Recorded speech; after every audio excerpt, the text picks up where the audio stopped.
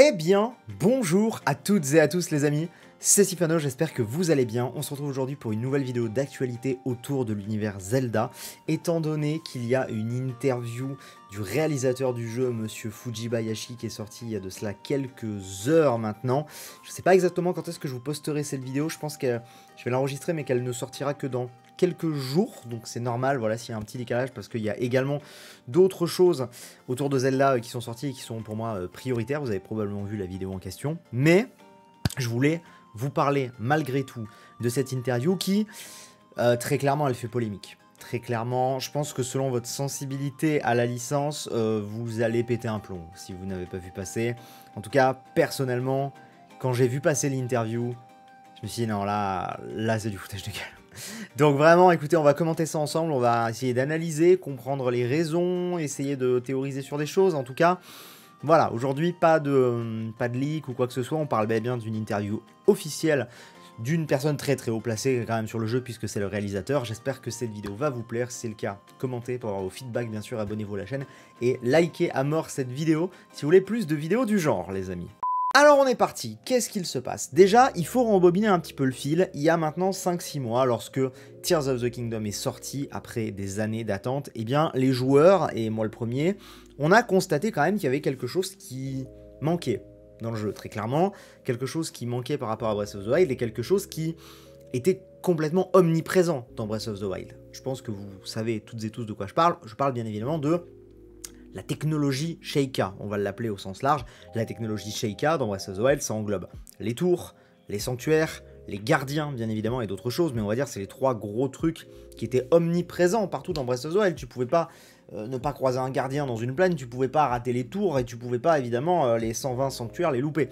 Et lorsqu'on a eh bien, euh, allumé pour la première fois Tears of the Kingdom, on a constaté que tout ça avait disparu. Voilà, tout ça avait disparu. Et d'ailleurs, vous reprendrez mes premières vidéos, je dis mes premières, mais peut-être mes, mes trois, trois premiers mois sur le jeu. Je ne cesse de dire, j'espère qu'on va avoir une explication. Pourquoi est-ce que ça a disparu? Est-ce qu'ils les ont détruits? Pourquoi euh, Qu'est-ce qui s'est passé? Est-ce que c'est lors du, est-ce que c'est lors du cataclysme avec le réveil de Ganondorf? Enfin bref, il y a forcément une explication logique à tout ça. Et force est de constater que moi, à l'heure actuelle, j'approche de la fin du jeu. Hein, très clairement, d'un point de vue histoire principale, j'ai tout fait sauf euh, sauf le combat final globalement, euh, bah on n'a toujours pas d'explication. Alors on a eu des explications sur des trucs type euh, pourquoi il y a des îles volantes, machin, mais la technologie Sheikah, on n'a pas vraiment eu d'explication, rien de très clair, rien de très tangible, et du coup, lors d'une interview, eh bien, la question a été posée à monsieur Fujibayashi. Et Fujibayashi, il a répondu, et je vais vous lire ce qu'il a répondu, d'accord? Je marquais des pauses, parce que c'est quand même assez long, et on va commenter ça ensemble, et ensuite je vais vous donner mon avis. Je cite, il a donc dit, on demande euh, où est passée la technologie Sheikah, et la réponse est, elle a disparu après que la calamité Ganon ait été vaincue. Tous les habitants d'Hyrule en ont été témoins, mais personne ne connaît le mécanisme ou la raison de leur disparition, qui est considéré comme un mystère. On pense que depuis la disparition de la calamité, ils ont également disparu car leur rôle a été rempli. Là on parle des sanctuaires, des tours, hein, bien évidemment. Je marque une petite pause. Globalement, ça a disparu suite à la mort de Ganon. Ok, c'est un argument.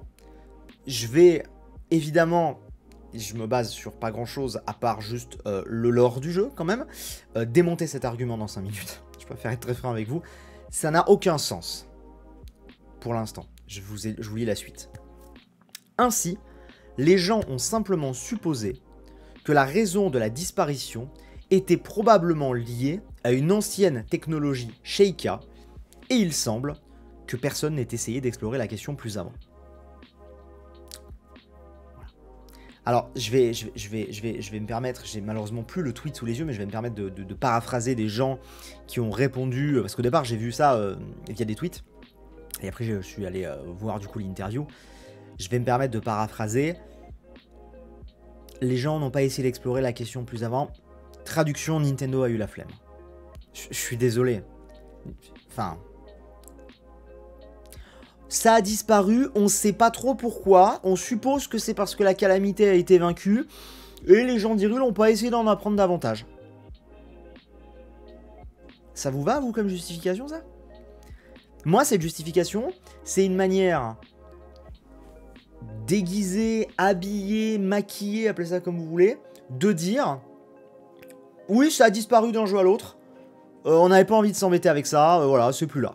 Euh, c'est, enfin, et ils essayent de le scénariser en mode oui, la calamité a été vaincue, puis les habitants des rues n'ont pas forcément cherché à savoir pourquoi. Je, suis désolé.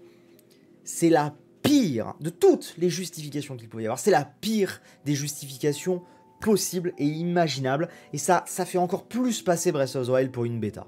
C'est terrible. Vraiment, cette interview est terrible. Je suis amoureux de cette licence, mais là, cette interview est, catastrophique. Il y avait un milliard de, fois mieux à faire. Déjà, simplement, encore une fois, le début de Tears of the Kingdom, on ne voit pas l'extérieur d'Hyrule, à part vite fait le plan d'une montagne. Donc, il était extrêmement facile de juste dire, lors du cataclysme, lors du réveil de Ganondorf, vu que le monde a été modifié, qu'il y a du passé qui est revenu, etc., les îles volantes, qu'il y a eu des trous, des abîmes, machin, ça a été détruit. Point. Genre, point. Genre, c'est facile, mais ça marche. Ça, ça, ça peut marcher. Vous voyez ce que je veux dire? Parce que là, en fait, moi, j'ai deux incohérences sur les deux paragraphes que je vous ai lus. Les habitants d'Hyrule n'ont pas essayé d'explorer plus en avant la question. C'est vrai. C'est vrai que les habitants d'Hyrule ne sont pas curieux. C'est vrai qu'on n'est pas littéralement face à un jeu où tu as des groupes d'archéologie qui essayent de comprendre ce que c'est que la technologie Sonao, qui essayent de comprendre les ruines, qui essayent de comprendre l'histoire, qui essayent de déchiffrer les stèles. C'est vrai que c'est pas du tout un peuple qui essaye de comprendre ce qui se passe, quoi. C'est, ça a disparu tel un claquement de doigts, ils se disent pas hum, bizarre. Parce que personne ne le mentionne dans le jeu. En plus, c'est ça le pire, c'est que personne ne le mentionne. C'est là où je vous dis, ça fait vraiment passer Breath of the Wild pour une bêta, on va reparler. Et l'autre truc où je suis désolé, mais euh, personnellement ça passe pas, ils ont disparu après que la calamité ait été vaincue. Comment ça, ils ont disparu après que la calamité ait été vaincue? Vous les avez retirés, vous les avez détruits à la rigueur, mais la technologie Sheikah n'a pas de lien avec Ganon dans Breath of the Wild. Au contraire, la technologie Sheikah, elle a été créée, les gardiens ont été créés pour que quand Ganon revienne, il soit en mesure de l'affronter. Au final, on sait ce qui se passe et Ganon arrive à corrompre les gardiens et les gardiens sont contre nous, mais je veux dire, c'est pas du tout un truc qui est lié à Ganon. C'est une arme qu'on a créée pour faire face à la créature, mais la créature, de base, elle a pas de... Comprenez ce que je veux dire? C'est pas elle qui a créé les tours, qui a créé les sanctuaires, qui a créé les, gardiens, et que bam, euh, la créature meurt, et du coup, tout, tout disparaît avec elle, comme si c'était une invocation de la créature. Je sais pas.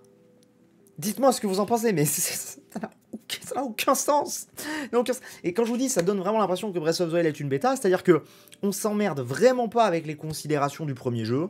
Euh, c'était un test. Tenez, regardez, on vous a sorti une version finale finale là, avec des nouvelles tours, voilà, euh, qui sont euh, qui ont la même utilité, mais c'est des nouvelles, hein. genre voilà, histoire de changer.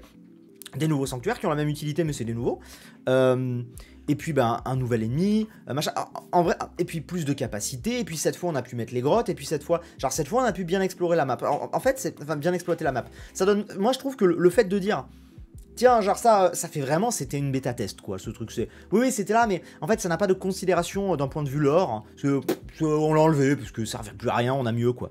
Enfin, je trouve ça, euh, je comprends pas. Cette interview, je la comprends pas. Déjà, le fait qu'il n'y ait aucune trace de ça. C'est dommage. Dans un monde où euh, vraiment ils ont apporté un détail incroyable à ce jeu. Je veux dire, le, détail qu'il y a à ce jeu, les finitions sont folles de Tears of the Kingdom. C'était pas si compliqué de mettre. Je n'en demandais pas 120, mais de mettre deux, trois, à un ou deux endroits, je m'en fous. Tu, mets un ou deux sanctuaires détruits, effondrés un peu, tu mets une tour un peu penchée sur une montagne, tu mets un cadavre de gardien. Tu pouvais faire quelques petits trucs. Genre, vraiment, pour montrer qu'il y avait une trace et que ça avait existé. Parce que là, ils ont totalement redcon le truc, quoi. C'est vraiment, ça n'a jamais existé. Alors eux te disent, si si ça existait mais ça a disparu, on sait pas pourquoi, on n'a pas cherché à savoir pourquoi. C'est horrible comme justification. Mais quand tu joues à Tears of the Kingdom, et que tu vas jouer à Breath of the Wild, ça donne vraiment l'impression que la technologie Sheikah, elle n'a jamais existé en fait dans ce monde-là, puisqu'il n'y en a aucune trace. Je ne sais pas. Ça fait partie des petits points noirs, je trouve, de TOTK. C'est comme, euh, euh, bah, quitte à avoir, euh, quitte à avoir fait des DLC, bah, par exemple l'espèce de, temple sous le sanctuaire de la Renaissance, pourquoi ne pas l'avoir laissé, par exemple Je sais pas. Enfin, vous voyez, il y, a des petits trucs pareil.